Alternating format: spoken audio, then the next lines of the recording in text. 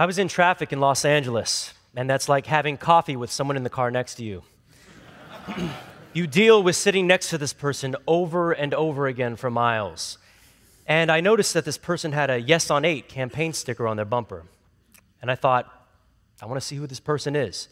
And I pulled up and I looked over, and I got a very distinctive what look back.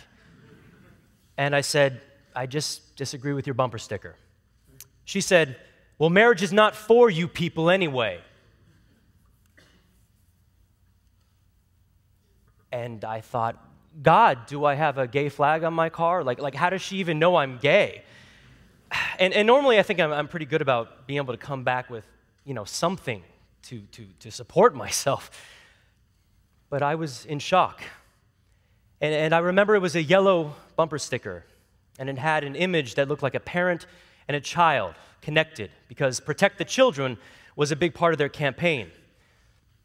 But when I think of protecting your children, you protect them from people who will perpetrate crimes against them.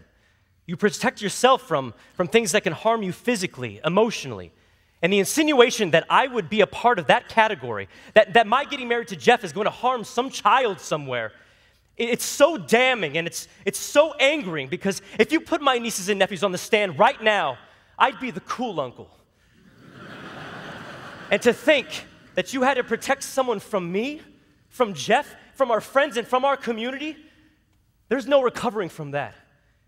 And unless you've experienced that moment, regardless of how proud you are, you feel ashamed.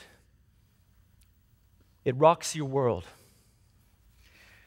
I have found someone that I know I can dedicate the rest of my life to. And when you find someone who is not only your best friend, but your best advocate and supporter in life, it's a natural next step for me to want to marry that person. March will be nine years.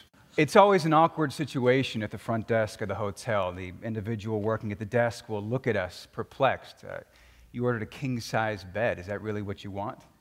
And it was certainly an awkward situation walking into the bank and asking, saying, My partner and I want to open a joint bank account, and hearing, you know, a business account? An LLC or an S corporation? No, not my business partner, my partner.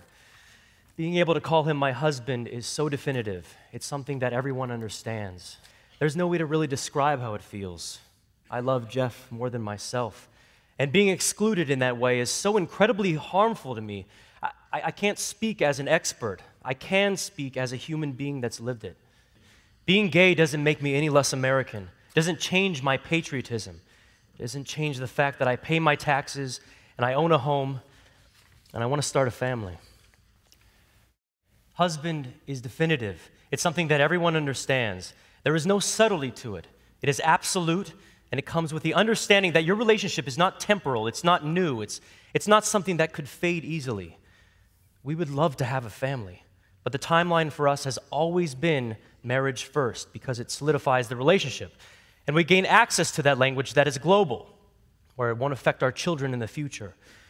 They won't have to say, My dad and dad are domestic partners, because truth is, not everyone knows what a domestic partnership is.